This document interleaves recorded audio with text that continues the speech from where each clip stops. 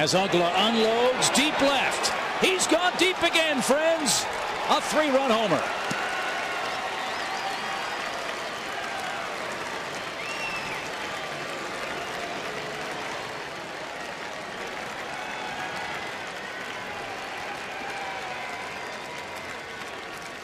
You can't spell dancing without Dan.